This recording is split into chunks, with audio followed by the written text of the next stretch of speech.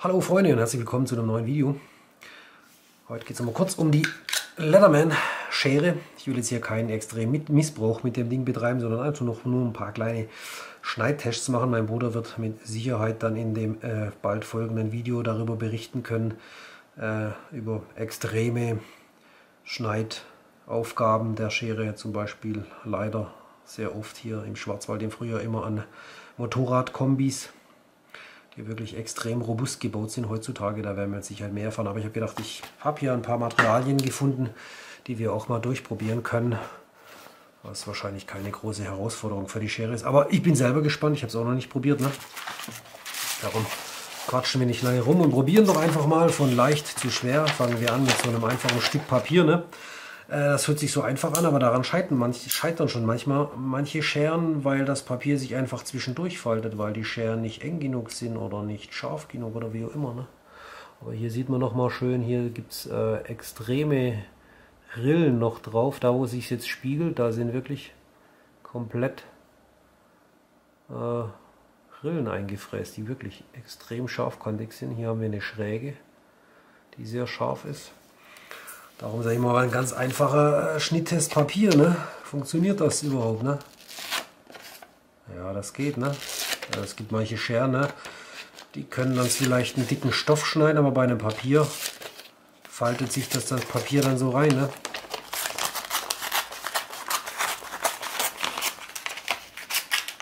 Ja, also Papier schneidet es ohne einzufalten. Okay. Papier geht. Dann habe ich hier noch so einen Karton, wie man ihn als so in, wenn man ein Hemd kauft, dann ist immer so ein bisschen Karton dazwischen. Also ist ein recht dünner Karton.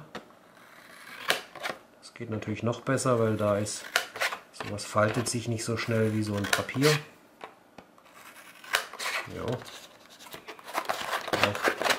Karton geht.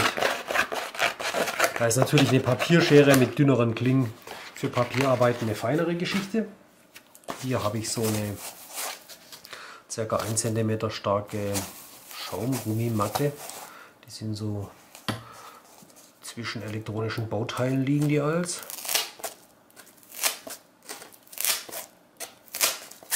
Ich wundere, dass diese Rettungsscheren immer so eine kurze Schneide haben. Ne? Aber das geht prima.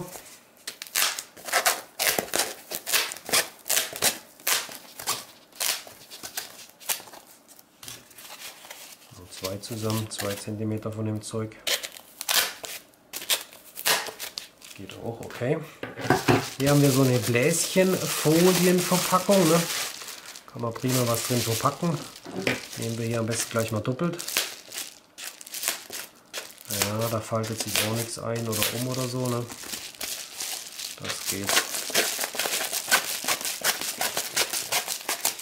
Hervorragend. So, mit was machen wir weiter? Hier, meine Frau hat mir noch ein Stück Filz gebracht. Das soll ich bitte nicht kreuz und quer durchschneiden, so ein bisschen am Rand hier die Unfeinheiten weg. Richtig dickes Filzmaterial, was ja auch richtig blöd zum Schneiden ist. Wenn du da eine lausige Schere hast, boah, knickt das ein. Dann machen wir hier mal einen sauberen geraden Schnitt hier rein. Dann kann sie den Rest nämlich noch verwenden. Naja, gerade ist so eine Sache mit so einer Schere, ne? Ja, aber das geht hervorragend. Da klappt nichts ein. Mal ganz langsam, ne? Also wir haben hier wirklich sauber an der Schnittkante, ne?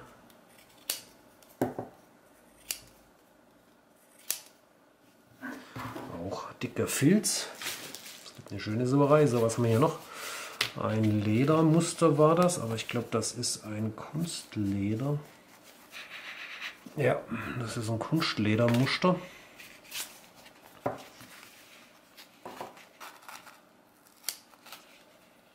Hier. Selbst wenn man mal langsam macht.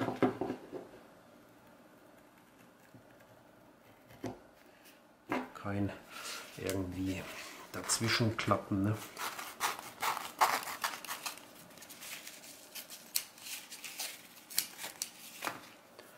Hier haben wir natürlich an der Achse, ja, da kann man natürlich auch nachstellen, sollte da mal ein Klingenspiel sein. Hier haben wir eine Torx-Schraube, ne? natürlich feine Geschichte, eine Torx.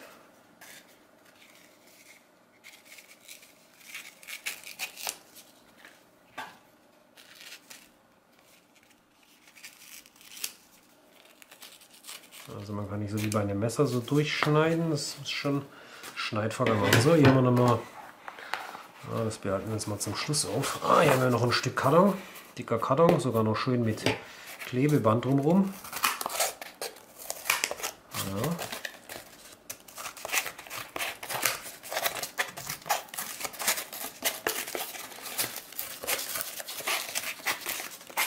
Ja, da muss sie schon ganz schön beißen.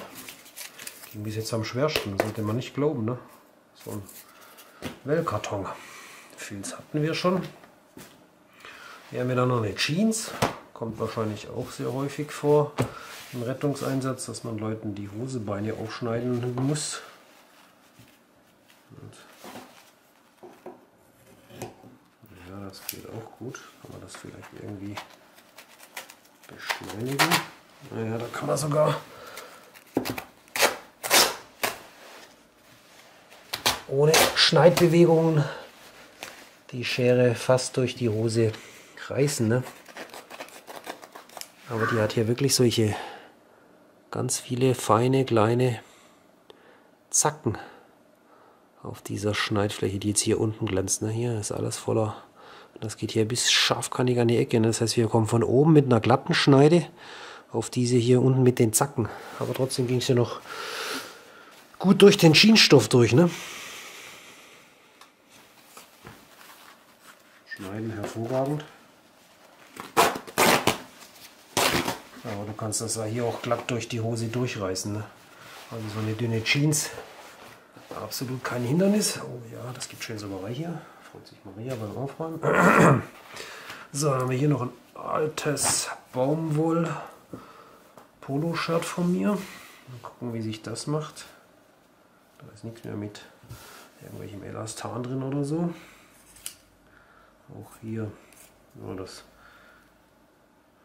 das war mal leicht elastisch, aber selbst hier kannst du das, ja, nee, das wälzt sich dann zusammen, ne? aber schneiden ist kein Problem. Ja, man kann sogar besser wie schneiden, wenn man Schneidbewegungen und das Ganze noch drückt, dann geht es sogar noch flotter hier durch. Ne? Also auch das, so ein Baumwoll-Shirt, wo leicht elastisch ist, stellt da keine große Herausforderung für die Schere da. Ne? Okay, jetzt haben wir hier noch ein kleines Stückchen Leder, richtig dickes Leder. Hier sollte ich auch ein bisschen sparsam rumschneiden, weil Maria will sich da noch einen Schieß zum Bogenschießen, so ein Schießleder draus nähen würde ich mal sagen, wo haben wir eine lausige Ecke? Dass ich da noch das bisschen recyceln hier kann. Nehmen wir mal hier raus, das hier sieht nicht so schön aus. Ne? Gucken wir mal. Richtig dickes Leder. Oh, das geht noch relativ gut. Ich muss sagen, der Karton war noch am zähesten zu schneiden. Ja, das geht ja hier durch wie Butter. Ne? Selbst hier so ein dickes Rinderleder. Geht hervorragend. Da hätte ich eher gedacht, dass es hier ein bisschen klemmt. Ne? Aber am blödesten war noch der Karton mit den, mit den Klebestreifen drauf. Cool. Ne, also Stoff, Leder, Filz, Papier, Karton. Selbst jetzt hier das dicke Leder doppelt. Vielleicht können wir das noch vierfach nehmen für einen Schnitt. Das hätten wir gleich machen sollen. Ne? Ja, drei Stücke, das vierte noch drauf. So richtig dick, das ist dann auf jeden Fall dicker wie ein Motorradleder-Kombi. Und hier geht es eigentlich spielend durch. Ja. Schon eine ganz kräftige Schere hier, diese Leatherman. Ne? Zum Zusammenklappen und Zumachen. Das eine so rum, das andere andersrum. Ne, beide nach außen. Ne? Dann kann man die wieder kompakt irgendwo reinmachen, verstauen oder zurück in das Holster. Ja, okay. Ein paar kurze Schneidtests.